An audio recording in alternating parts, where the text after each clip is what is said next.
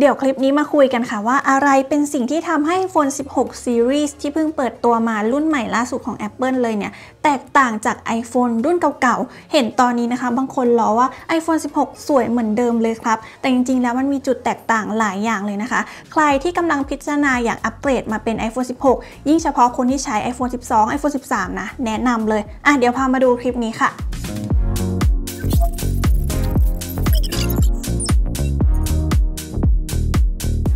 ตอนนี้ค่ะ iPhone 16 วางขายแล้วนะคะ ในประเทศไทยสามารถไปจับเล่นได้ที่หน้าร้าน หรือว่าใครไม่สะดวกไปหน้าร้านสามารถสั่งซื้อได้ที่ช่องทางออนไลน์ต่างๆ รวมถึงตัวแทนจำหน่ายของ Apple ด้วยนะคะ แต่ว่าคลิปนี้นุ้ยจะมาขยายความให้ในความแตกต่างระหว่าง iPhone 16 กับ iPhone รุ่นเก่าๆ ไม่ว่าจะเป็น iPhone 15 iPhone 14 iPhone 12 iPhone 11 ลงไปนะคะ หลายคนอยากจะอัปเกรดมาเป็น iPhone 16 แต่ก็ยังไม่แน่ใจเพราะคิดว่าเอ๊ะมันไม่ได้เปลี่ยนอะไรเยอะหรือเปล่านะคะ มาเริ่มกันที่ข้อแรกเลยดีกว่าค่ะไหนๆเราก็มีเครื่องอยู่ในมือแล้วเนาะข้อแรกเลยก็คือเรื่องของกล้องค่ะทุกคน กล้องของ iPhone 16 รุ่นธรรมดาในปีนี้นะคะ ได้แก่ iPhone 16 แล้วก็ iPhone 16 Plus เนี่ยเขามีการวางดีไซน์การวางกล้องแบบใหม่ก็คือ คล้ายๆ กับเป็นสไตล์แคปซูลนะคะ วางด้านบนกับด้านล่างนะคะ ซึ่งถ้าเทียบกับนี่อันนี้คือกล้องของ iPhone 13 นะคะ เนี่ยเขาจะมีการวางกล้องแบบแนวทะแยง เพราะฉะนั้นการวางกล้องแบบแนวตรงแบบเนี้ยซึ่งเราเคยเห็นไปแล้วใน iPhone 10 นะคะ iPhone 10R อะไรเงี้ย อะหลายคนเห็นไปแล้ว แต่การที่ Apple เลือกกลับมาวางกล้องแบบแนวตั้งเป็นแบบแคปซูลแบบเนี้ยได้อะไรได้ประสิทธิภาพอะไรเพิ่มเข้ามา คือการวางกล้องแบบนี้นะคะ พอกล้องเขามาวางอยู่ใกล้กัน 2 ตัวติดกันแบบนี้ การถ่าย spatial video ก็คือการถ่ายวิดีโอแบบรอบตัว มันก็จะเก็บภาพได้กว้างมากยิ่งขึ้นนะคะเขาอาจจะใช้ความสามารถของกล้องทั้ง 2 ตัวนี้ร่วมกัน เพราะฉะนั้นรูปภาพที่ออกมามันก็จะสมจริงตามที่เขาเคลมไว้ ไม่ว่าคุณจะใช้ iPhone 16 รุ่นธรรมดา หรือว่า iPhone 16 Pro นะคะ คุณสามารถถ่าย Spatial Video ได้ สามารถนำภาพวิดีโอเหล่านี้ไปเปิดดูคล้ายๆ แบบเสมือนจริงบน Apple Vision Pro ได้ ซึ่งในอนาคตคนที่ฟังคลิปในที่นี้นะคะ อาจจะมีโอกาสได้ใช้ Apple Vision Pro ก็ได้ แต่ตอนนี้ Apple Vision Pro ยังไม่มีวางขายในไทยนะคะ เพราะฉะนั้นฟีเจอร์นี้ก็ถือว่าติดมากับเครื่องก็ดีแล้วนะคะ ดีกว่าไม่มีเนาะ อันนี้ก็เป็นข้อแตกต่างระหว่าง iPhone 16 กับ iPhone รุ่นเก่าๆค่ะ เรายังอยู่ที่เลนส์กล้องค่ะ ในปีนี้เลนส์ปกติหรือว่าเลนส์หลักนะคะ ที่เป็นกล้องหลังของ iPhone 16 Series ทั้ง 4 รุ่น เขาเปลี่ยนจากเลน wide นะคะ ซึ่งก็คือเลนส์หลักนั่นแหละ มาเป็นเลนส์ที่ชื่อว่า Fusion 48 ล้านพิกเซล หรือว่า Fusion Camera นะคะ หลายคนบอกว่า เอ๊ะ พอไปเทียบสเปคกล้องมาแล้วเหมือนเขายังใช้ฮาร์ดแวร์ตัวเดิมเลยนะคะ มันจะเป็นการอัปเกรดยังไง แค่เปลี่ยนชื่อเฉยๆ หรือเปล่านะคะ จริงๆ แล้ว Fusion 48 ล้านพิกเซลเนี่ย ไม่ได้แค่เป็นการอัปเกรดในเรื่องของฮาร์ดแวร์อย่างเดียวนะคะ แต่มีการอัปเกรดในการจูนซอฟต์แวร์มาให้ด้วยหลังจากที่ได้ลองใช้งานแล้วก็เข้าใจเขามากขึ้นนะคะ ตัวเลนส์ Fusion 48 ล้านพิกเซลที่อยู่ใน iPhone 16 ทุกรุ่นนี่นะคะ เขาทำให้การถ่ายภาพเนี่ยดีขึ้นอย่างมีนัยยะสำคัญทุกคน ไม่ว่าจะเป็นเรื่องของการเก็บสีและเก็บแสงนะคะ อันนี้ทำได้ดีเลยนะ รวมถึงสิ่งที่เรียกว่าการปรับจูนกับซอฟต์แวร์ คือจะเห็นรูปตัวอย่างนะคะว่าโทนสีผิวบน iPhone 16 Series ทุกรุ่นเนี่ยมันดีกว่า iPhone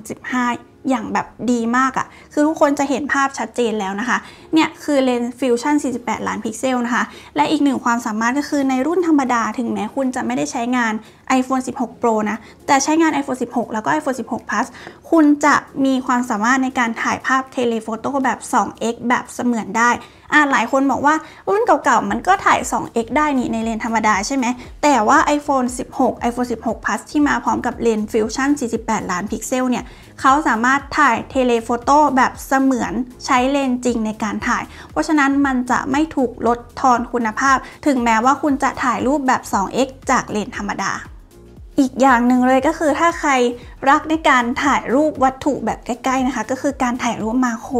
นี่เป็นครั้งแรกที่ iPhone รุ่นธรรมดา อย่าง iPhone 16 และ iPhone 16 Plus สามารถถ่ายมาโครได้ นี่เป็นความสามารถจาก iPhone รุ่นโปรที่เราอาจจะเคยเห็นมาตั้งแต่ iPhone 13 iPhone 14 iPhone 15 แล้วก็ลามมาจนถึง iPhone 16 Pro นะคะ เขาถ่ายมาโครได้อยู่แล้ว แต่รอบนี้ Apple ใจดีมากเลยอะอัปเกรด ให้ iPhone รุ่นธรรมดาสามารถถ่ายมาโครได้ ซึ่งตรงนี้ก็ลองถ่ายดูแล้วนะคะ ไม่ว่าจะเป็นการถ่ายดวงตา คือมันสามารถเก็บรายละเอียดได้คมชัดมากจริงๆนะ ไม่แพ้รุ่น Pro เลย อีกเรื่องหนึ่งที่สำคัญนะคะ อันนี้น้องนิกไปดูข้อมูลเปรียบเทียบมานะ คือเลนฟิวชั่น48 ล้านพิกเซลของ iPhone 16 Series ทั้ง 4 รุ่นในปีนี้นะคะ เขามีการเคลือบสาร Anti Reflection มาให้บนเลนส์ด้วย เพราะฉะนั้นอันนี้จะมีผลในเรื่องของการถ่ายรูปกลางคืนแล้วติดแสง flare นะคะ จากรูปที่พี่ต้อมเขาไปถ่ายมาจะเห็นว่าแสง flare มันลดลงจริงๆนะ อันนี้คือข้อดีของการที่เขาเคลือบสาร Anti Reflection มาให้ที่เลนฟิวชั่นค่ะ เดินทางมาถึงข้อต่อไปค่ะ เราก็ยังอยู่ที่เรื่องของกล้องเหมือนเดิม เพราะว่า iPhone 16 ในรอบนี้ทุกรุ่นเลย มี Photographic Style มาให้เราใช้งานนะคะ ซึ่งเป็น gen ใหม่นั่นเอง คือเราอาจจะเคยเห็นไปแล้วใน iPhone 13 Series ที่เราสามารถเลือกโทนในการถ่ายภาพได้นะคะ ก่อนที่เราจะกดถ่าย แต่อันนี้นะคะไม่ว่าจะเป็นการก่อนกดถ่ายกับหลังกดถ่าย คุณสามารถมาปรับโทนสีผิว หรือว่าโทนภาพต่างๆ ได้ด้วย Photographic Style ซึ่งในรอบนี้น้องนิกขอมอบเครดิตให้เลยในการปรับโทนสีผิวนะคะ คือ เขาจะมีการรองรับโทนสีผิวที่มากขึ้น ไม่ว่าจะเป็นคนขาวคนเหลืองหรือว่าคนผิวสีนะ คุณสามารถปรับโทนผิวได้ตามต้องการเลย ก็จะมีตั้งแต่โทนที่เป็นสีชมพูนะคะ ก็คือกุหลาบเย็นอันนี้จะออกโทนชมพูที่ติดเย็นหน่อยๆนะคะ มีตั้งแต่โทน neutral นะคะ ใครที่แบบชอบโทนผิวธรรมชาติ สามารถมาปรับได้ที่ตรงนี้ หรือว่าจะเป็นโทนกุหลาบทอง อันนี้คือมันเหมาะกับทุกสีผิวแล้วกัน มีทอง มีอำพันและนอกจากนี้อยากแนะนำเลยก็คือโทนขาวดำหมดของ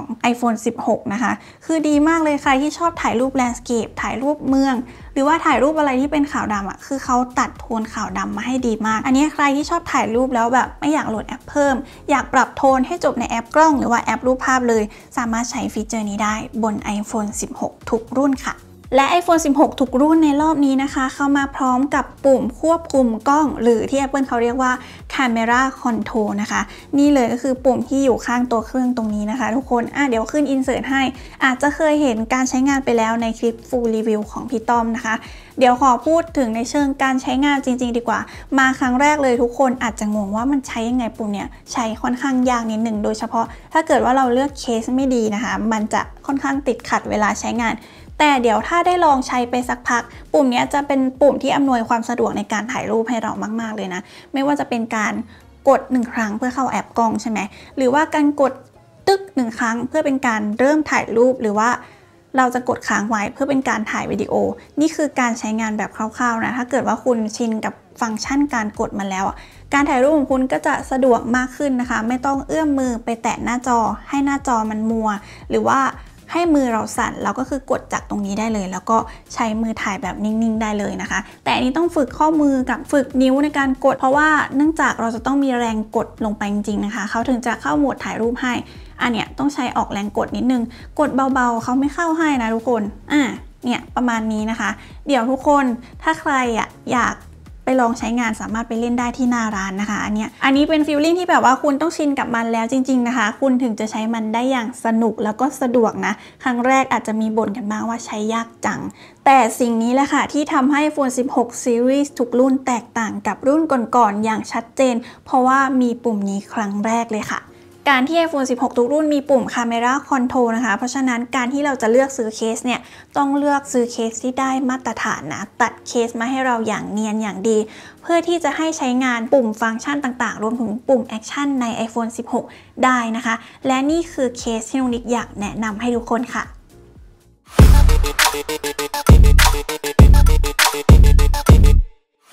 มาแกะกล่องดูกันว่าใน Text Box มีอะไรบ้าง Ultra Bounce Case เคสกันกระแทกที่ดีที่สุดจาก Casetify มุมทั้ง 4 ออกแบบให้มีความหนาพิเศษด้วย bumper รอบด้าน ดูดซับแรงและกระจายแรงกระแทกได้ดี ผ่านการทดสอบ drop test ที่ความสูง 10 เมตร มาตรฐาน Military Standard 10 เท่า ดีไซน์ X Shape และดีไซน์ Test Lock ช่วยล็อกเคสให้มั่นคง ป้องกันการตกกระแทกได้ดียิ่งขึ้น ตัวขอบยกสูงช่วยป้องกันหน้าจอ มีวงแหวนรอบกล้องยกสูง และมีฝาครอบเลนส์ในตัว ดีไซน์ใหม่ ตัวขอบด้านบนยังใช้งานร่วมกับ Accessory ช่วยเพิ่มความสะดวกมากยิ่งขึ้น Ultra Bounce Carabiner ห่วงแขวนอลูมิเนียมดีไซน์ G-Hook สามารถติดเข้ากับตัวเคสได้ สายทำจากโพลีเอสเตอร์ทนทาน ติดและคล้องได้หลายรูปแบบ Ultra Bounce Utility Lanyard สายอเนกประสงค์สะพายข้างติดเข้ากับเคสได้หลายรูปแบบ สามารถปรับความยาวได้ และเปลี่ยนจากสายสะพายข้างที่สวมใส่สบายเป็นสายคล้องข้อมือที่สะดวก และ d e b o u n c e Odyssey Band สายนาฬิกา ปกป้องขอบเครื่องผลิตจากวัสดุรีไซเคิลระบายอากาศได้ดีกันน้ำกันเหงื่อยังไม่หมดค่ะ ขอแนะนำรุ่น Bounce ดีไซน์เบาและบางขึ้นกว่ารุ่นที่แล้ว มีให้เลือกมากถึง 4 สี หรือรุ่นยอดฮิตอีกอย่าง Impact Case ดีไซน์บางเบาพกพาสะดวก และ Impact Ring Stand Case มาพร้อมกรอบล้อมกล้องมีขาตั้งปรับมุมได้ เคสจาก Casetify รองรับ MagSafe ทุกรุ่นเลยนะ ดูรายละเอียดหรือสั่งซื้อได้ที่ www.casetify.com/imod และ Casetify ยังมีส่วนลดให้ 10%ไปเลย เมื่อใส่โค้ด10 iMoD สามารถใช้ได้ตั้งแต่วันที่ 9 กันยาถึง 31 ตุลาคมนี้ค่ะ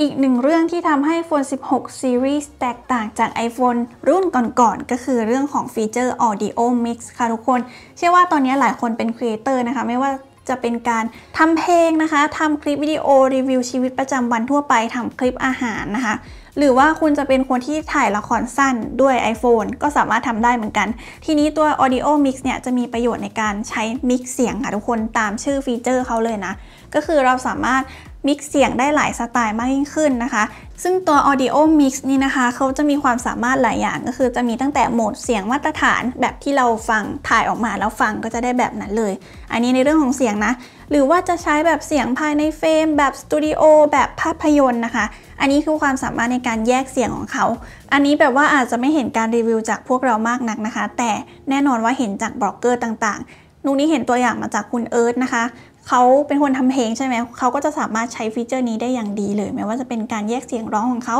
กับเสียง background หรือว่าเสียงเครื่องดนตรีที่เขาอาจจะอัดในสตูดิโอมานะคะ อันนี้มีประโยชน์มาก ๆ เลยสำหรับคนที่ต้องทำงานเกี่ยวกับเสียงนะคะ แล้วที่สำคัญนะคะ iPhone 16 Pro ในรอบนี้อัปเกรดไมโครโฟนมาให้เป็นไมโครโฟน 4 ตัวระดับสตูดิโอ มันก็จะ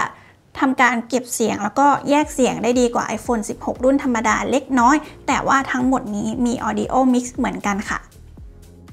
เรามาที่เรื่องต่อไปกันบ้างดีกว่าค่ะ เป็นเรื่องทั่วไปที่อยากให้ทุกคนใส่ใจนะคะ ในรอบนี้ iPhone 16 Series นะคะ มีรุ่นหนึ่งเลยที่มาพร้อมกับหน้าจอที่ใหญ่ที่สุดใน iPhone เป็นครั้งแรกเลย ก็คือรุ่น TikTok TikTok ก็คือ iPhone 16 Pro Max นั่นเองนะคะ เข้ามาพร้อมกับหน้าจอ 6.9 นิ้ว เป็นหน้าจอที่ใหญ่ที่สุด ใน iPhone ตอนนี้ iPhone รุ่นเก่าๆไม่มีใครใหญ่เท่านี้นะ ใหญ่สุดก็คือ 6.7 นิ้วใช่ไหมทุกคน แต่พอมาเป็น 6.9 นิ้วเนี่ย ใครที่เป็นสาวก iPhone จอใหญ่หรือว่าสมาร์ทโฟนจอใหญ่ อาจจะย้ายมาจากค่ายอื่นบ้างนะคะ แล้วอยากมาลองใช้ Apple แต่ว่าอยากได้จอใหญ่สุดเลยเนี่ย iPhone 16 Pro Max เป็น iPhone รุ่นที่น่าสนใจมาก ๆ จอใหญ่จอดีคมชัดนะคะ จอสวย เพราะฉะนั้นนี่เป็นครั้งแรกค่ะที่ iPhone มีหน้าจอเกือบจะ 7 นิ้วแล้วนะ อยู่ที่ 6.9 นิ้วแล้วนะ คือไม่รู้ว่ามันจะใหญ่ไปมากกว่านี้ไหมนะคะ แต่ 6.9 นิ้วเนี่ยน่าจะถูกใจคนที่ชอบดูอะไรแบบเต็มตาแน่นอน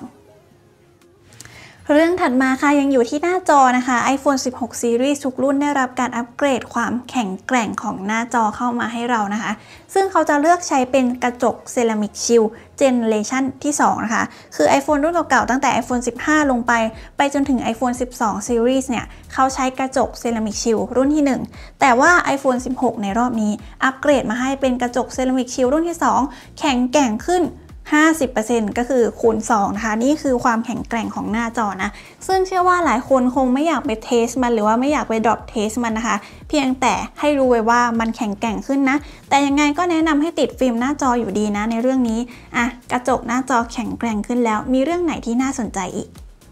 เรื่องถัดมาที่ทำให้ iPhone 16 Series แตกต่างจาก iPhone 16 รุ่นอื่น ก็คือการปรับดีไซน์ตัวเครื่องภายในใหม่ค่ะ ซึ่งในงาน Apple อาจจะไม่ได้พูดถึงอะไรให้เราได้ดูมากนะคะ ไม่ได้บอกว่าปรับตรงไหนอะไรยังไงบ้างนะคะ แต่เราเห็นไปแล้วแหละ แต่ว่ามี YouTube ช่องหนึ่งเขาไปชำแหละชิ้นส่วนภายใน iPhone 16 Series ให้เราดูนะคะ ชื่อช่องว่า Rewa Technology ซึ่งเราจะเห็นความเปลี่ยนแปลงไม่มากก็น้อยใน iPhone 16 ค่ะ ซึ่งที่หลักๆเลยนะคะ มีการปรับดีไซน์ตัวเครื่องใหม่ตั้งแต่เมนบอร์ดเลย เมนบอร์ดมีขนาดเล็กลง เพราะฉะนั้นเขาจะสามารถยัดชิ้นส่วนอื่นได้หรือว่าขยายส่วนอื่นเพิ่มเติมให้มันใหญ่ขึ้น อย่างเช่นแบตเตอรี่นะคะ และก็เป็นไปตามนั้นจริงๆค่ะ แบตเตอรี่ใน iPhone 16 มีขนาดใหญ่ขึ้นจริงแต่ว่าสิ่งที่น่าสนใจก็คือใน iPhone 16 Pro ค่ะทุกคน iPhone 16 Pro เนี่ยเขาใช้แผงอลูมิเนียมที่เฟรมตัวเครื่องนะคะ Apple เลือกเคลือบด้วยกาไฟ เพราะฉะนั้นอันนี้จะมีผลในเรื่องของความร้อน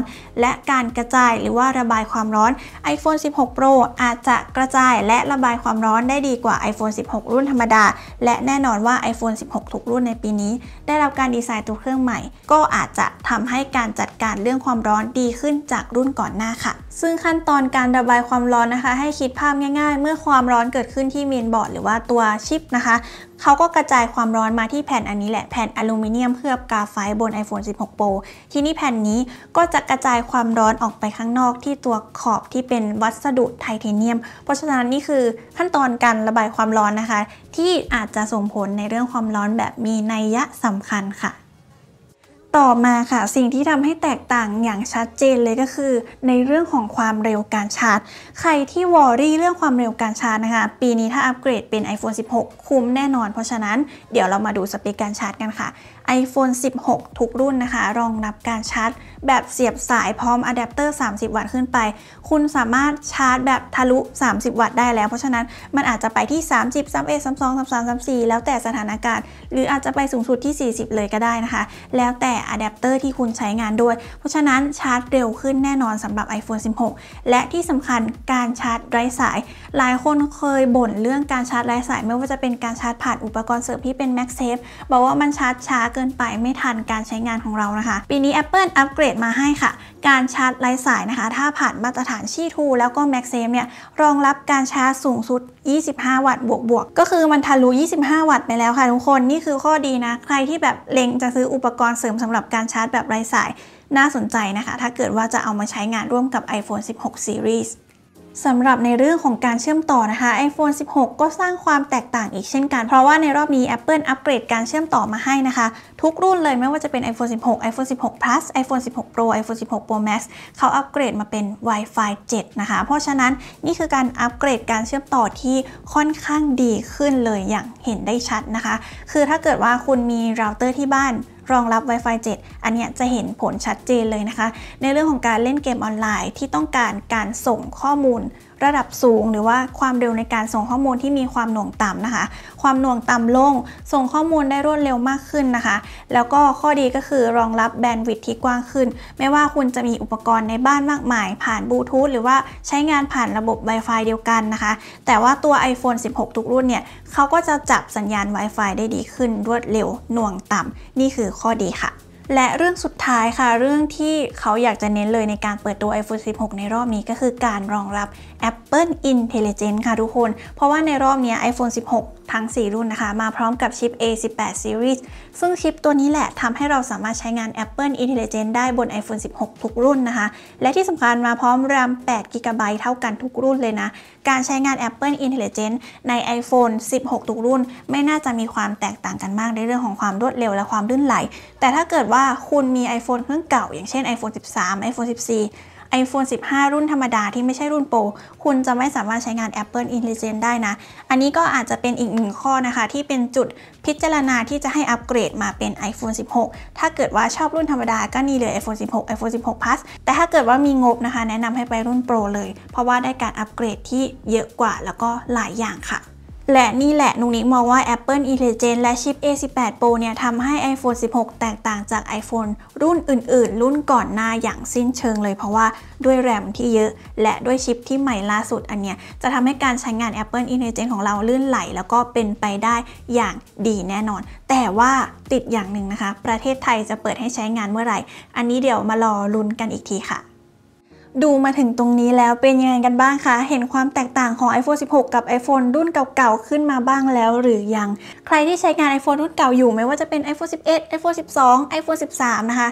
แนะนำมากๆเลยให้อัปเกรดมาเป็น iPhone 16 Series เลือกรุ่นที่คุณชอบแล้วก็สีที่คุณชอบได้เลยนะคะ รับรองว่าคุ้มแน่นอนได้ทั้งการอัปเกรดกล้องที่แบบยิ่งใหญ่ในรอบนี้นะคะ กระจกหน้าจอแข็งแกร่งขึ้น ชิปใหม่ A18 รองรับ Apple Intelligence ทำไมถึงจะไม่อัปเกรดล่ะ ถูกไหม และนี่คือสิ่งที่นิกอยากจะบอกนะคะ เพราะว่า iPhone 16 ในรอบนี้ เขาเปลี่ยนแปลงแล้วก็มีการอัปเกรดขึ้นมาจริง ๆ Apple เขาไม่ได้โม้แบบตามที่ทุกคนกล่าวหานะคะ คือเขาอัปเกรดมาจริงๆ และการใช้งานก็ดีขึ้นด้วยค่ะ